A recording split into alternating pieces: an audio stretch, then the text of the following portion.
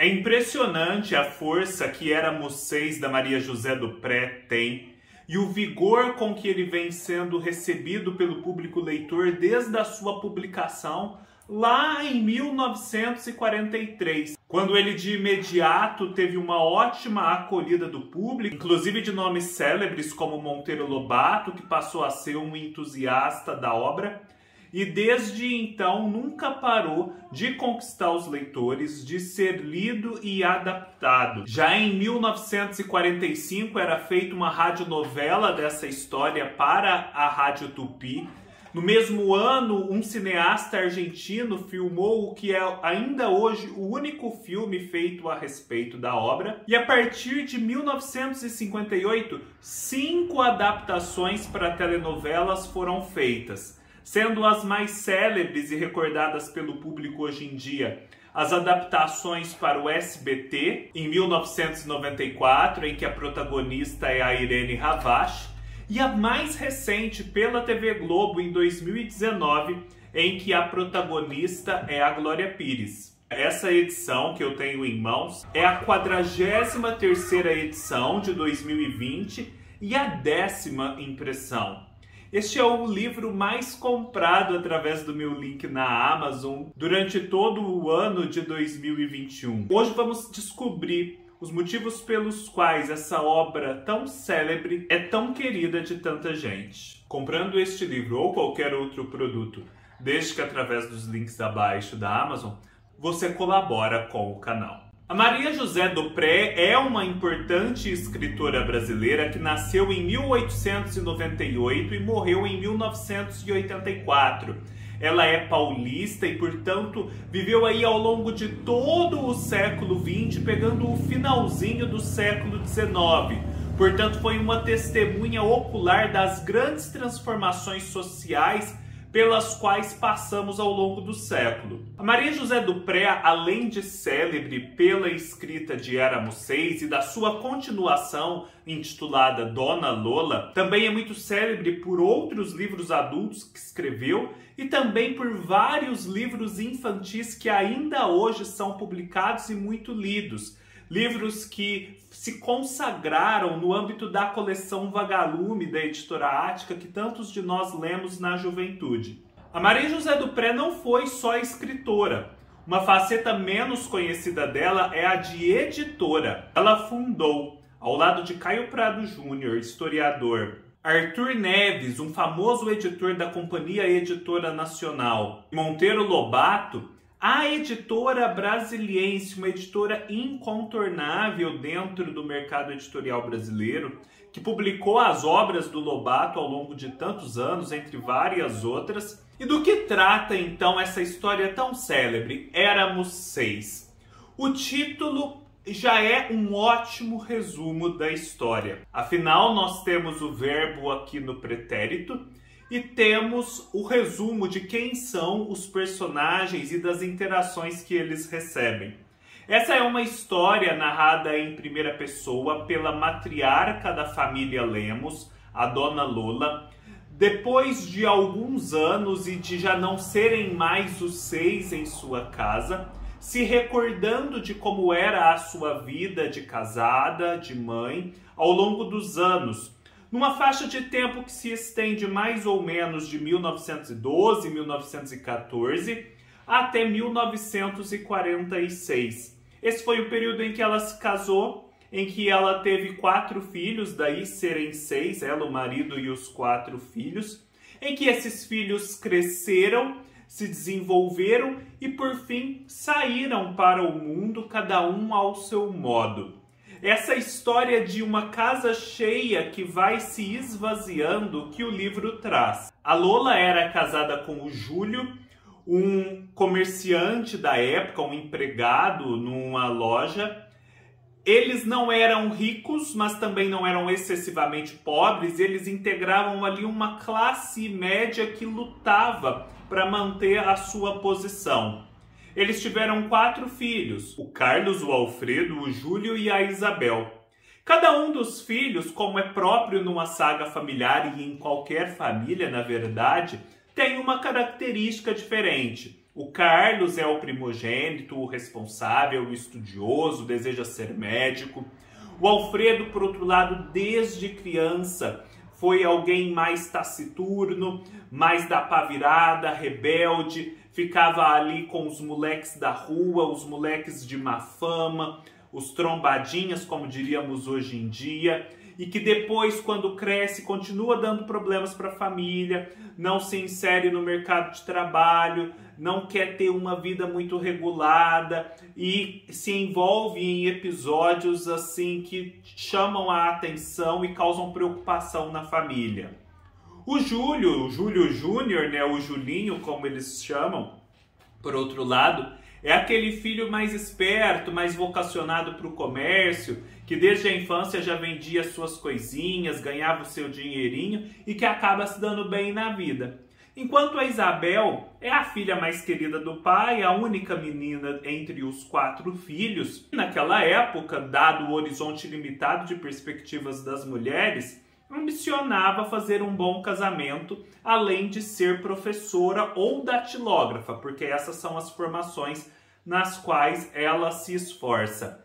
E ela tem um protagonismo aqui no sentido de retratar a questão do divórcio, que ainda era muito mal vista na época final. Ela se apaixona por um homem casado, porém desquitado, e isso obviamente era pessimamente visto pela família. Essa é uma família paulista. Eles moram em São Paulo, capital, numa época em que São Paulo cresce, em que o processo de urbanização do país se acelera. A família de ambos, tanto do Júlio quanto da Lola, que na verdade se chama Eleonora, ela vem de uma cidade do interior de São Paulo chamada Itapetininga. Portanto, vários parentes dos dois vivem lá e a todo tempo há um trânsito de personagens entre a capital e Itapetininga. E, portanto, um contraste dos diferentes modos de se viver na capital e no interior. Mas aqui, apesar de se tratar de capital e interior, já não se trata mais de um contexto rural. Nenhum dos personagens aqui trabalha numa fazenda com criação de animais. Trata-se apenas de um contexto urbano, um menor e outro maior que é a capital que se urbaniza. A capital em que os ricos ainda moram próximos aos pobres, em que as divisões rígidas de bairro ainda não se estabeleceu e em que a família Lemos da Lola compra a duras penas e a longas prestações uma casa que é onde eles vão viver e a história vai se passar, a Avenida Angélica, que naquela época crescia, havia os mais pobres, os mais remediados e também alguns palacetes em que os ricos viviam. Sob muitos aspectos, esta é uma história muito simples, muito típica porque ela vai falar sobre as relações familiares de uma família brasileira de classe média baixa é, no começo do século, mas ao mesmo tempo ela cala tão fundo nos leitores ainda hoje, justamente porque esses padrões de vida se repetem ao longo de todo o século XX, eu diria até as proximidades do XXI. Quantos de nós ou de nossos pais não viveram em casas urbanas simples, é, com muitos irmãos, tendo que cada um ajudar nas despesas da família, cada um com as suas características, lutando pela sobrevivência, num contexto em que o país não ajuda muito, em que as divisões sociais são marcadas, em que se trabalha muito, ganha-se pouco, há outros muito ricos que pouco ajudam os pobres. Essa história, na verdade, é tão célebre porque ela é a história da maioria dos brasileiros, de grande parte deles. E a Maria José Dupré é muito feliz aqui ao dar a narrativa à matriarca, à dona Lola, a essa mãe a essa mulher, sob tantos outros aspectos, silenciada. E por quê? Porque ela se sacrifica pelo marido, se sacrifica pelos filhos, vai ali se consumindo para que aquelas outras vidas possam vingar. E ao dar voz a ela, a Maria José do Pré permite que nós tenhamos acesso ao cotidiano de uma dona de casa, de tantas de nossas mães, avós, tias, que é aparentemente simples, aparentemente repetitivo, mas é cheio de tensões, cheio de expectativas, cheio de pequenos lances, é, de pequenas alegrias. E esse olhar arguto da Maria José do Pré para essas situações que de outra maneira passariam esquecidas é o que torna essa obra tão grandiosa, porque isso se torna registro literário e passa a fazer parte de um patrimônio de memória comum do país e não se perde mais. Esse é o grande trunfo do livro. Então aqui a gente vai encontrar doces como o bombocado, que fazia tempo que eu não ouvia falar desse doce. Aquela situação de, por se tratar de uma família simples, na hora da sobremesa, é, você comeu uma goiabada, uma goiabada que vinha em lata, em pedaços. Quantos de nós já não comemos esse tipo de goiabada? Quando a família passa por um aperto financeiro maior, é, não se come carne todos os dias, às vezes se come carne apenas aos domingos. Quantos de nós já não ouvimos esses relatos de que a carne era escassa, era preciso arrumar outras formas de se alimentar mais baratas?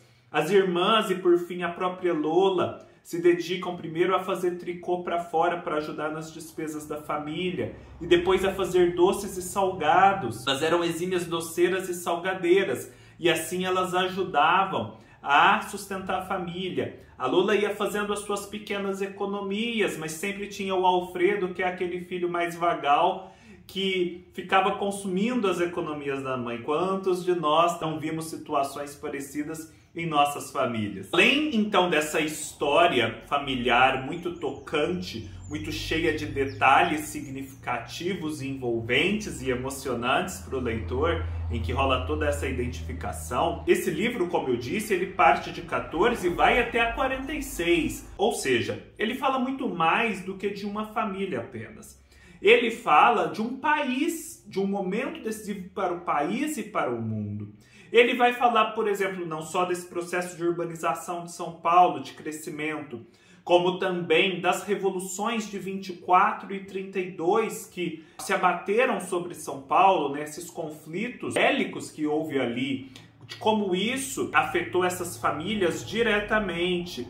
Ele vai falar do finalzinho da Primeira Guerra, do Entre Guerras e vai pontuar que no final o início da Segunda Guerra Mundial e também como isso foi visto e recebido pelas pessoas simples. Ele vai retratar muito bem as desigualdades sociais. O Júlio é um marido meio encarniçado, meio violento. A gente não vê nenhuma cena de agressão física a Lula, mas há muita agressão verbal, há muita agressão psicológica. E ele bebe muito. Esse é um problema também muito comum nas famílias brasileiras do homem que bebe muito. Só que a gente vê também que ele trabalha pra caramba, ganha pouco, as condições de trabalho ainda são muito precárias, as leis trabalhistas são incipientes, trabalha-se 12 horas sem mais nem menos. Surgem aqui oportunidades dele ascender de vida, mas são muito custosas, ele precisa investir, não tem como investir. Eles compram essa casa e assim sofrem pra caramba para pagar as prestações e não perder a casa. Quanto disso ainda não acontece hoje em dia entre nós? Esse livro também mostra as diferenças entre os ricos e os pobres, né? A desigualdade social muito grande, há os parentes ricos, os parentes ricos que estão lá distantes, tem seus modos, todo a parte de se viver e estar no mundo, mas que há um contato e esses contatos são sempre muito tensos e ao mesmo tempo interessantes, porque é uma janela que se abre para os mais simples. E esses parentes ricos, por mais que sejam distantes, né, encastelados em si mesmos, às vezes ajudam e essas ajudas são muito necessárias para os parentes mais pobres suscetibilidade das famílias também fica muito bem retratada aqui. Nós temos uma família de classe média remediada que vai se desenvolvendo bem, os filhos vão estudando, tem chances reais deles se formarem, fazerem uma graduação. Mas a partir de um determinado momento em que o Júlio já não pode concorrer para as despesas da forma como concorria antes, né? O Júlio é o patriarca, o marido e o pai. Essa família se desestabiliza completamente, quase passa fome de verdade. As possibilidades de ascensão social que esses filhos realmente tinham começam a ser frustradas. E a gente percebe que não há nenhum sistema de proteção social e isso pesa muito sobre essas famílias. Elas precisam, quando já não tem a renda de um dos seus membros, principalmente o membro principal, o pai da família, precisam se, desdobrar em mil para conseguir se manter minimamente. Obviamente, eles vão quase perder a casa no finalzinho das contas, e isso é todo um drama aqui na história. A condição da mulher é muito bem retratada, né? Essa personagem, para mim, é um registro precioso na nossa literatura do que é ser mulher no Brasil. Ela é arquetípica sob vários sentidos. Então, quem se dedica aos estudos do feminino, à literatura escrita por mulheres, ao feminismo, não pode deixar de passar por esse livro porque ele é extremamente significativo. Aqui também nós vemos a situação do negro, ainda que de forma pontual, é preciso ter olhos para ver isso. Mas você percebe que apesar de se tratar de uma família ali de classe média baixa, eles estão num momento histórico em que a escravidão terminou há poucas décadas. Então eles mantêm uma empregada. Essa empregada é sempre alguém assim bem tratada, querida pela família, mas você percebe que é um ser humano à parte que não é considerado na mesma categoria dos membros da família ou dos vizinhos brancos. É, é, há um todo um distanciamento, uma forma de pensar diferente em relação a ele. E também outras referências a pessoas negras conhecidas, percebe-se né, o grande abismo que há entre essas vidas. O livro, apesar de muito triste, meio melancólico às vezes, não é apenas uma sucessão de recordações saudosistas. É um livro muito lírico. Não, é um livro cheio de ação também. Porque, obviamente, numa família de seis pessoas, quatro filhos crescendo, muita coisa acontece. A gente vai acompanhar aqui com expectativa a doença da mãe da Lola lá em Itapetininga, as tentativas de cura e por fim o seu falecimento. A gente acompanha aqui a crise econômica. Esse é um capítulo especialmente doloroso e longo do livro, porque é muito difícil para eles assim voltarem a ter um chão um pouco mais firme depois de um determinado fato X que acontece. Temos o drama da Isabel que se envolve com esse homem que é desquitado, quanto isso custa em termos de relações sociais esgarçadas, relações familiares esgarçadas, distanciamento. Esse filho que é meio da pavirada e que se envolve numas presepadas e coloca toda a família em aflição. Essa necessidade de pagar essa casa e não conseguirem e chegar no último minuto, não terem dinheiro, esse drama vai nos consumindo. As doenças que se abatem sobre os membros da família, enfim. É um livro, gente, muito redondo, muito bem feito. Eu dei cinco estrelas para ele no Scooby, assim, sem pestanejar, porque não tenho o que falar. Ele é muito bom sobre todos os aspectos, muito bem escrito tem a trama em si mesma é muito interessante, essa saga familiar funciona muito bem. Esse espelho do Brasil, ele é muito nítido, ele é muito exato. Momentos cômicos aqui também no livro, como a dona Genu, que é uma vizinha que ao mesmo tempo que ela é muito solícita, ela é, ela é muito prestativa, ela tem um ar meio macabro porque sempre que ela ouve falar que alguém está doente, ela já fica toda oriçada e vai lá para ajudar a pessoa, mas como se assim já estivesse pressentindo aquela morte. Quando a pessoa morre, ela adora preparar o corpo, se desvelar ali no preparativo do velório, do enterro, ajudar nessa hora que quase ninguém quer ajudar. E essas conversas entre vizinhas são uma delícia Como não se identificar com essas conversas entre vizinhas, o tipo de comentários que elas fazem a respeito das coisas. Elas, por exemplo, gente, pensam que graça que é esse livro. Elas sobem num tamborete para conversar uma com a outra através do muro que separa as suas casas. Quem também que mora em interior já não viu essa cena acontecer? Enfim, fica a dica desse livro indispensável. Eu acredito que esse seja um livro assim incontornável da história da nossa literatura, da nossa própria história, um registro documental dos modos de ser e estar no Brasil, tanto no começo do século XX como ainda hoje em várias partes do nosso país, eu posso apostar. Espero que tenham gostado. Se gostaram, deem um like, deixem nos comentários se já leram, se já assistiram a novela, se concordam com as minhas impressões. Se inscrevam no canal, sigam-me nas minhas outras redes sociais, todos os links estarão aqui embaixo. Leiam-me no meu blog e nos vemos numa próxima oportunidade. Até mais!